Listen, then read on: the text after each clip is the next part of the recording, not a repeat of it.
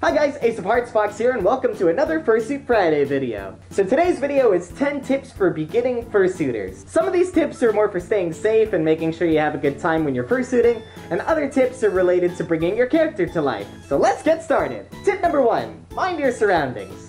When you're in a fursuit, not only do you have a big black bar right here down the middle of your vision, but you're also essentially looking through a tunnel. There's little to no peripheral vision when you're in a fursuit. So make sure you're just aware of your surroundings. I've had a lot of times where I've accidentally bumped into things like fire hydrants or stepped off curbs without looking, so just be careful. Tip number two, use the buddy system. Most of the time when I go fursuiting, I try to have a handler with me. But if you can't find a handler, try to bring a friend along with you to go fursuiting with you. Not only is it a lot safer to make sure you have someone with you at all times, but it's just a lot more fun to bring along a friend. Tip number three, take frequent breaks. It's really easy to get carried away when you're having fun, you're having a good time, and you forget how tired you are. Just remember every now and again to go sit in the shade or have a glass of water and sit down for a little bit. Not only will this make your experience a lot more comfortable, but you'll be able to fursuit a lot longer when you're taking breaks. Tip number four, exaggerate movement. When you're in a fursuit, not only is your voice and your sight kind of blurred, but your movements are kind of muffled too.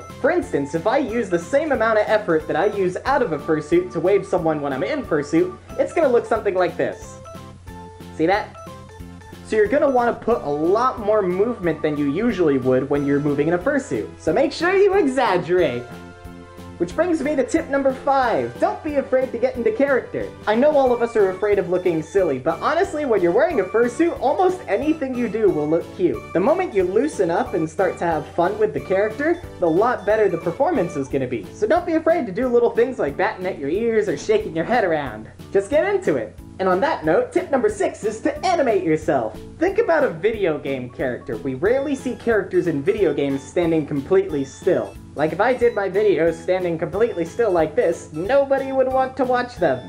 Unless you're specifically looking for fursuiters that stand still. But anyways, I rarely move around this much when I'm not in a fursuit, but it really adds a cartoonish quality to the character if you're constantly moving. Like when I'm standing still, I usually have a little sway to me, or if I'm walking, I add a little bit of a bounce into my step, and that adds a lot of life into the character. So get animated. Tip number seven, watch other fursuiters. Now I wouldn't say to completely imitate someone else's character, but if you have elements of that character that you find really appealing, maybe try to apply that to yours. One of my favorite things to do is look at convention videos on YouTube. Those are great ways to draw inspiration for your character. After you start taking bits and pieces, you can construct your own unique style. Tip number eight, be careful when you're fursuiting in public. I see a lot of videos on the internet of people fursuiting in shopping malls and at stores, and while that looks like a lot of fun, you gotta keep in mind that some places have a policy where you can't wear masks in their store. So if you do fursuit somewhere public, make sure you call ahead and confirm that they're okay with wearing your fursuit there. Plus, it's nice to just give them a heads up so you don't catch them completely off guard, because let's be honest, not everybody's used to seeing one of these every day. If you're not looking for anything specific and just really want to go outside in fursuit, public parks are a great place to do that. Usually they're okay with you wearing a costume there. Tip number 9. Brush your fursuit. This is one of those things where a little bit goes a long way. I had my first fursuit for about four years and it still looks pretty good. This is because I performed regular maintenance on it, making sure it was nice and clean and that the fur was always brushed. If you just take a few minutes to brush the fur out before and after you're done fursuiting for the day, it's not only gonna make it look better, but the fursuit's gonna last a lot longer too. And now tip number 10! Stay hydrated.